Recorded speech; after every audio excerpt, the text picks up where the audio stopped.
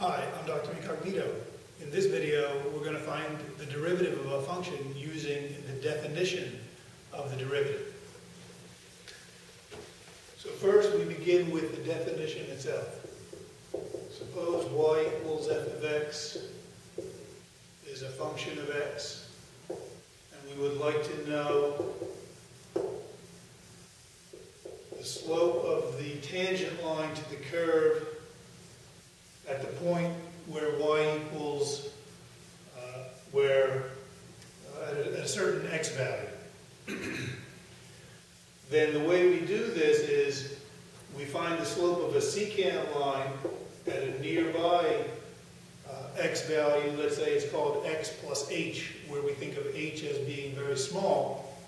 And then if we were to connect these two dots, uh, the slope of that secant line would be the rise over the run. Uh, the rise would be, this new point has a y coordinate of f of x plus h. And then minus f of x divided by the run is from x to x plus h. That run is h.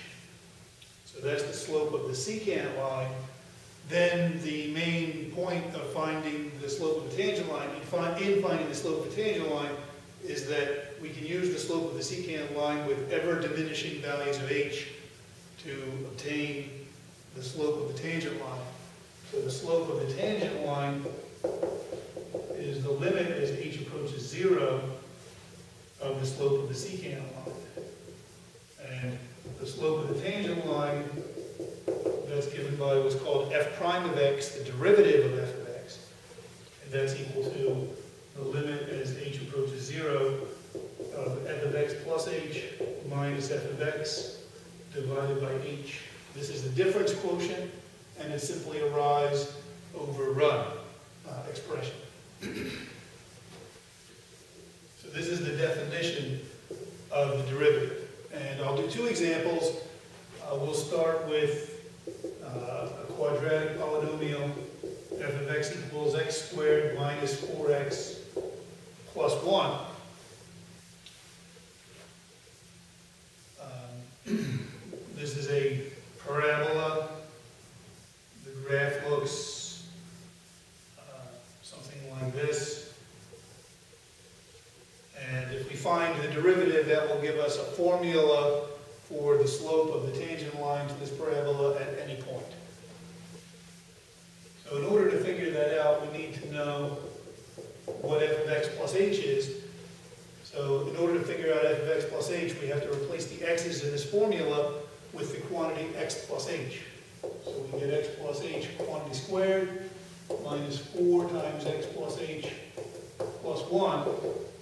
And expanding this out, it's x squared plus 2xh plus h squared minus 4x minus 4h plus 1. So then the derivative is the limit as h approaches 0 of f of x plus h, which is all this, x squared minus 2xh plus h squared minus 4x minus 4h plus 1. That's h minus f of x which is the original function, x squared minus 4x plus 1, divided by h. Uh, this limit is inherently going to have the 0 over 0 uh, indeterminate form. You can see the division by 0 here immediately. The numerator will also be 0 if you plug in h equals 0. And so we're going to have to do something to cancel this h. So some algebra suggests itself immediately, and that would be to subtract the polynomials. And if you look at these three terms, then you'll see that those three terms are among these six. Here's the x squared, here's the negative 4x, and here's the plus 1. So when we subtract, uh, those terms will all disappear.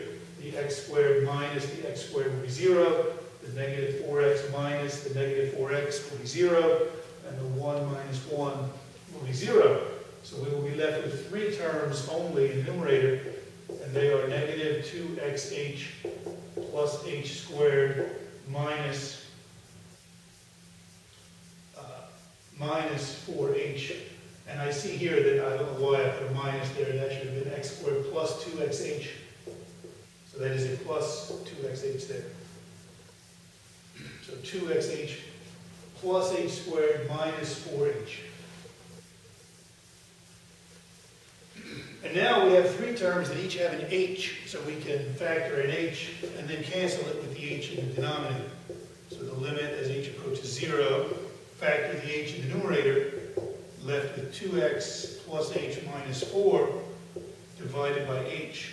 Cancel the h, and we're left with the limit as h approaches 0 of 2x plus h minus 4. And now we simply ca uh, calculate this limit by plugging in h equals 0 until we get 2x minus 4. This is the derivative, 2x minus 4 is the derivative function of x squared minus 4x plus 1. And this function tells us the slope of the tangent line to the parabola uh, at any point. So for example, if we pick the point where x equals 4,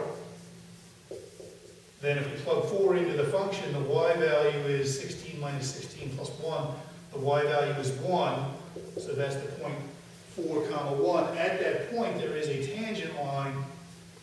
According to this formula, the slope of that tangent line would be f prime of 4, which would be 8 minus 4, which is uh, 4. So the slope of this tangent line would be f prime of the x value, which was 4, and that would be 2 times 4 minus 4, and that is 4.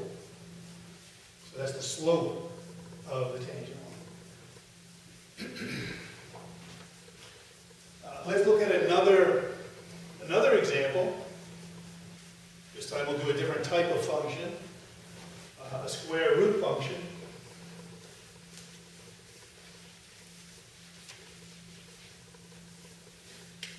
Let's say we want, uh, suppose f of x is the square root of 3x plus 4. Let's find f prime of x.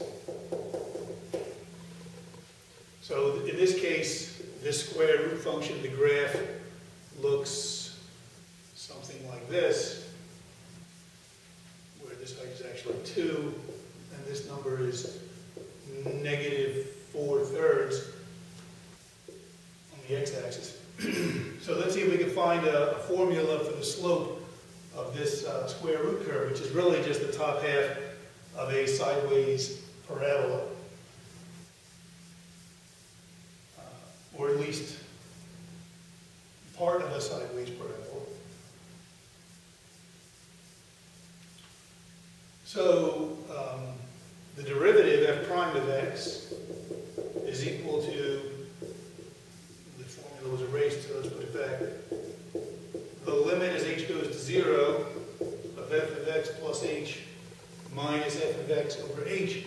And in this case, f of x plus h is the square root of 3 times, replace the x with x plus h.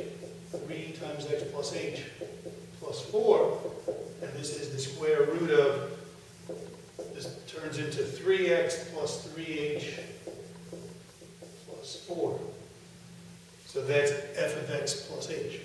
So then continuing here, our, our derivative is the limit as h approaches 0 of the square root of 3x plus 3h plus 4 minus the square root of 3x plus 4 divided by h. So this limit will give us f prime of x. And again, this is going to be 0 over 0. Uh, so we'll multiply the numerator and the denominator by the conjugate radical. That's the technique to use here. So first I'm just writing all this down again. And now we'll multiply by the conjugate radical.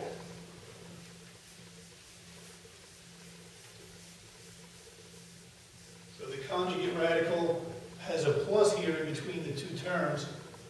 So it's the square root of 3x plus 3h plus 4 plus the square root of 3x plus 4 divided by h. No, I'm sorry. You have to divide by the same thing.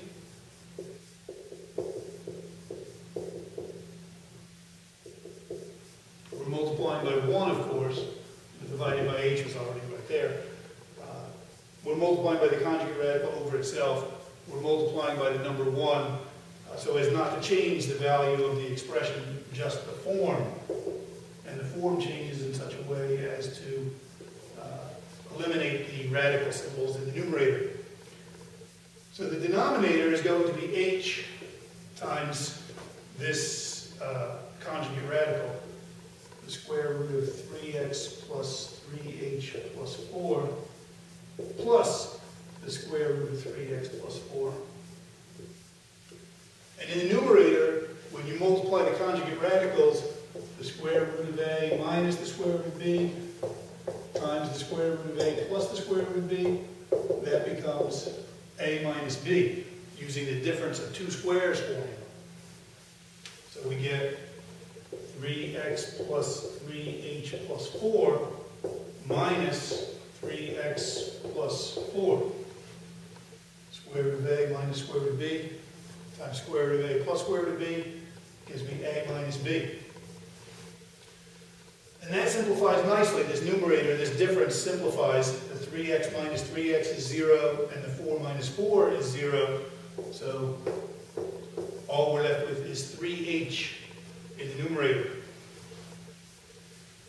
So this is equal to the limit as h approaches 0 of 3h in the numerator and then h times the conjugate radical in the denominator.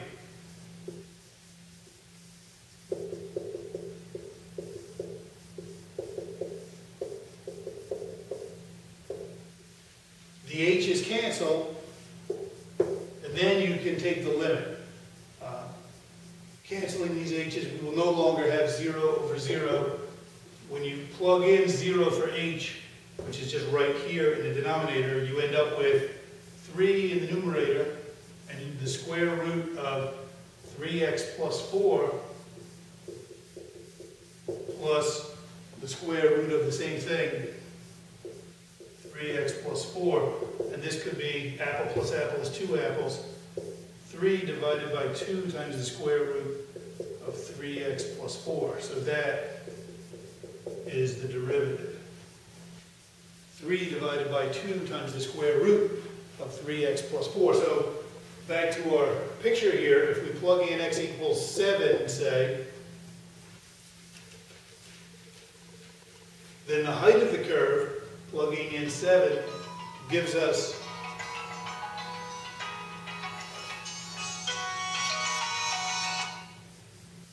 excuse me, the height of the curve plugging in 7 gives us 25, and then square root of 25 is 5.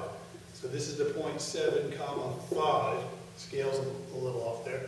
And then the slope of the tangent line at this point, the slope of the tangent line would be f prime of 5, which we can plug 5 into that uh, formula there for f prime. And we again get 25 under the radical, so this is 3 over 10. So the slope of that line is 3 tenths.